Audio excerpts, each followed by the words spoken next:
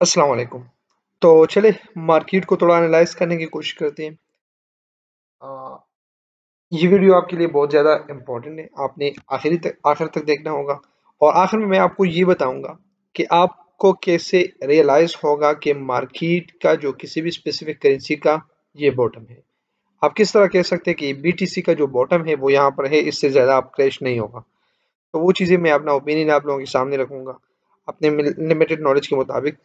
और अभी जो मार्केट की कुछ सिचुएशंस अगेन कुछ प्रॉपर मूव नज़र नहीं आ रहा। तकरीबन पाँच छः घंटे पहले मैं आप जो वीडियो बना रहा हूँ इससे मार्केट थोड़ा बहुत एक एक पॉजिटिव मूव ले रहा था। लेकिन स्टिल अगेन मार्केट नीचे की तरफ़ आ गई और तकरीबन सेवन परसेंट इससे पहले गिर चुकी थी और अब ये फोर पॉइंट टू फाइव पे नेगेटिव पे चल रही है। तो क्या सिचुएशन है? मार्केट अगेन दोबारा वही सिचुएशन होगी कि मार्केट गिरेगा गिरेगा और कहाँ तक गिरेगा? कब हम कह सकते हैं कि ये मार्केट का या बीटीसी का ये बॉटम है, इससे ज़्यादा नहीं गिरेगा। तो चले थोड़ा बहुत इसको देख लेते हैं। अभी चूँकि मार्केट में यहाँ पे अगर आप देखें तो जिस तरह मैंने आपको प्रीवियस वीडियो में बताया था कि जो फ्लक्चुएशन शो कर रहा है मार्केट जब तक किसी खास डोमेन में फ्लक्चुएशन शो नहीं करता तो कम अज़ कम अब ये ऐसा मूव ले रहा है कि ऐसा मूव ये आपको देखने को मिलेगा कि मार्केट इस डोमेन के अंदर एक खास स्पेसिफिक फ्लक्चुएशन शो करेगा। अगर ये 21 से 20 से भी नीचे आ जाती है तो अगेन फिर आपने वेट करना होगा मार्केट को थोड़ा बहुत एनालाइज करना होगा और फिर आपने किसी भी किस्म की नेगेटिव लेने होंगी। चूँकि यहाँ पे आ, आज मार्केट का जो मूव है वो थोड़ा बहुत ऐसा लग रहा है कि कंपेरेटिवली जो प्रीवियस उसके जो ड्रॉप्स थे जहाँ पे जिस तरह यहाँ पे अगर हम इस जगह पे फोकस करें या इसके नीचे हम फोकस करें तो मार्केट कंटिन्यूसली गिर रही है। किसी भी स्पेसिफिक जगह पे वो किसी कांस्टेंट डोमेन के अंदर अपना फ्लक्चुएशन शो नहीं कर रहा। लेकिन अब चूँकि ऐसा लग रहा है कि मार्केट थोड़ा बहुत अपना फ्लक्चुएशन शो करने की कोशिश कर रहा है लेकिन आ, आपने थोड़ा बहुत इसको भी समझना होगा कि एंड में मैं आपको बताऊँगा कि आपको किस तरह रियलाइज़ होगा कि अब मार्केट इससे ज़्यादा नहीं गिरेगी और आप एंट्री ले सकते हैं। अच्छा ये बात हो गई। ट्वेंटी वन पे अभी बी चल रही है।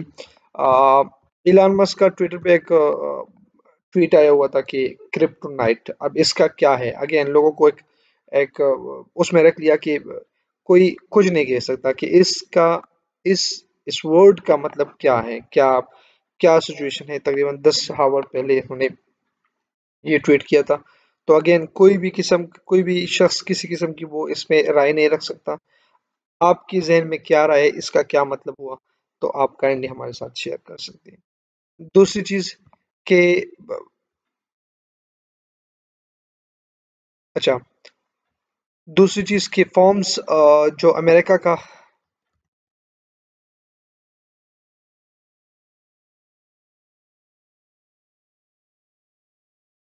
अच्छा तो मार्केट की कुछ खास वो मूव हमें नज़र नहीं आ रही। तो चले आ, हम इसको थोड़ा बहुत एक और चीज़ को मैं आपको वजाहत दे दूँ कि देखिए आपने सबसे पहले अगर आपने क्रिप्टो की को थोड़ा बहुत एनालाइज करना होगा तो आपने अमेरिका की जो मार्केट की सिचुएशन है उसको भी आपने देखना होगा। डिपेंड करता है सारा जो क्रिप्टो है वो मैक्सिमम उसी पे डिपेंड करता है। वो जो नेरेटिव लेंगे, वो किस साइड पे जाएँगे, किस सिमत को अप्लाई करेंगे तो उस चीज़ को आपने बहुत ज़्यादा गौर से देखना होगा और आपकी जो छोटे छोटे नेरेटिव है, वो आपने बहुत ही सेफली आपने लेने होंगे। जैसा कि इंटरेस्ट रेट की बात करते हैं, कि शरय सूद की बात करते हैं, कि जो कितना बढ़ेगा डिपेंड करता है। अब तो खैर, मैं अपने ओपिनियन से बता रहा हूँ कि अगर मार्केट की चूँकि अब वो जो न्यूज़ आ रही है या जो एक्सपेक्टेड है कि शराय सूद में कितना इजाफा होगा। क्योंकि महँगाई को कंट्रोल करने के लिए वो इसमें इजाफा करेंगे। लेकिन अगर इसमें इजाफा 7.5 परसेंट अब चूँकि न्यूज़ आ रही है कि 7.5 तक परसेंट तक इसमें इजाफा होगा तो अगर ये इजाफा होगा तो मार्केट अगेन क्रैश हो सकती है। मैं अगेन रिपीट कर रहा हूँ कि अगर 7.5 तक इजाफा हो गया तो मार्केट और ज़्यादा क्रैश हो सकती है और मार्केट किसी भी किस्म की अपनी फ्लक्चुएशन डोमेन में शो नहीं करेगी, या वो कर ही नहीं पाएगी। दूसरी बात यह कि जो जो फॉर्म्स का वो है कि आपने एक और चीज़ जहन नशी करनी होगी कि मार्केट डिपेंड करता है सारा का सारा जो ह्यूमन बिहेवियर पे है। ह्यूमन बिहेवियर का मतलब क्या हुआ कि अगर किसी भी ह्यूमन की बिहेवियर को आप फिर उस वक्त एनालाइज नहीं कर सकते जब तक मार्केट में कोई बड़ी न्यूज़ नहीं आती। जब मार्केट में बड़ी न्यूज़ आ जाती है तो आप ये समझते हो कि जो न्यूज़ इससे मैं ले रहा हूँ, क्या ये न्यूज़ जो बाकी लोग हैं, वो भी ले रहे हैं? या जिस तरह अगर क्रिप्टो जिस तरह इलान मस्क की ट्वीट की हम बात करें, अगर यहाँ पे उन्होंने किया है क्रिप्टो नाइट तो अगर इसका मतलब ये हुआ कि ये आज आखिरी दिन है, मैं अपनी लिहाज से ले लूँ। क्या आज क्रिप्टो के जो क्रैश के थे जो आखिरी नाइट है, इससे बाद कोई क्रैश नहीं होगा। तो अगर इस तरह हर एक शख्स इससे यही मतलब लेता तो हर एक शख्स इसमें इन्वेस्टमेंट करता और मार्केट स्टेबिलिटी की तरफ़ जा जाती थी। लेकिन डिपेंड करता है कि इससे लोग क्या क्या मकसद ले रहे जिस तरह मैंने जो मकसद लिया, आप क्या मकसद लेते हैं? तो जब तक ह्यूमन बिहेवियर किसी स्पेसिफिक पॉइंट पे सेम नहीं होगी, तब तक इन्वेस्टमेंट नहीं आएगी और इन्वेस्टमेंट नहीं आएगी तो मार्केट स्टेबलाइज नहीं होगी या उसको स्टेबल करने की कोशिश नहीं करेगी।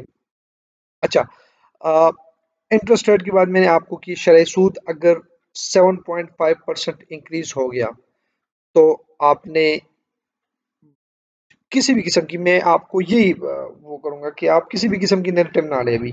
पहले मार्केट को थोड़ा वेट करने दें मार्केट खुद ब खुद अपने आप को जैसी वो स्टेबल होगी तो उसके बाद आप आ, अपने नेरेटिव ले सकते हैं मार्केट को एनालाइज कर सकते हैं। यहाँ पे अगर 7.5 परसेंट तक इंक्रीज आ गया शरह सूद में तो मार्केट अगेन गिर सकती है। हाँ अगर इससे कम आ गया तो डिपेंड करता है, लेकिन मार्केट गिरने के चांसेस है अगर इंक्रीज 7.5 परसेंट शरह सूद में आ गया। अच्छा इसके बारे में जिस तरह मैंने आपको बताया कि इस ट्वीट के बारे में लोग अपनी अपनी राय रखते हैं, जब तक एक ट्वीट के बारे में अगर ये ट्वीट इस तरह होता कि क्रिप्टो क्रैश लास्ट नाइट की आखिरी नाइट है तो तब लोग उससे सेम ही मतलब लेते और सेम मतलब लेने की की वजह से लोग इन्वेस्टमेंट करते और शायद उसकी उसकी बदौलत मार्केट खुद ऑटोमेटिकली स्टेबल हो जाती थी। लेकिन अब इस ट्वीट में ऐसी एम्बिग्विटी है कि आप ना इधर की है, ना उधर की है, ना आप ये कह सकते कि शायद ये क्रिप्टो क्रैश की लास्ट नाइट है। क्या क्या इसका मतलब है? क्या इस, इसके बाद क्रिप्टो के बारे में कोई बात नहीं करेगा कि इतना गिर जाएगा। तो आप कुछ भी इसके बारे में नहीं, जब तक न्यूज़ न्यूज़ में एम्बिग्विटी होगी तो आप, आपके लिए नेरेटिव लेना और आपको मार्केट समझना बहुत ही मुश्किल होगा। अच्छा जी कॉइन बेस ने जो अपने एम्प्लॉयर्स थे 1100 एम्प्लॉयर्स को फायर कर दिया। तो ये इम्पोर्टेंट न्यूज़ थी। मार्केट को आपने थोड़ा वेट करना होगा। मार्केट को थोड़ा एनालाइज करे सब्र करे और मार्केट को छोड़ दे। अभी तक अभी किसी किस्म की नेगेटिव आप ना ले, ये मैं आप लोगों को सजेस्ट करूँगा। आपके बारे आपको, इनमें मैंने जिस तरह आपको कहा कि आपको कैसे पता चलेगा कि मार्केट की इस कॉइन की ये इसका बॉटम है, इससे ज़्यादा मजीद क्रैश नहीं होगा। तो देखिए, मैं आपको एक सिंपल से बता दूँ। अगर इंटरेस्ट रेट में शरय सूद में 7.5 परसेंट इंक्रीज आ गया और तब भी मार्केट नहीं गिरी तो इसका मतलब ये इसका बॉटम है। ये चीज़ें आपने पहले ही से आपने कुछ इस तरह मेन मेन पॉइंट्स आपने उठा के अपने साथ लिखने होंगे और जब ये नेरेटिव ली जाती है गवर्नमेंट की तरफ़ से, किसी भी मुल्क की गवर्नमेंट की तरफ़ से और मार्केट पे इफ़ेक्ट ना हो नेगेटिव न्यूज़ न्यूज़ आने से मार्केट मजीद ना गिरे तो इसका मतलब यह है कि मार्केट स्टेबल हो गई और इससे अब आगे मार्केट नहीं गिर सकी। तो ये मेरा अपना ओपिनियन था। आप लोगों का इसके बारे में क्या ख्याल है? लाजमी हमारे साथ शेयर कीजिएगा। Thank you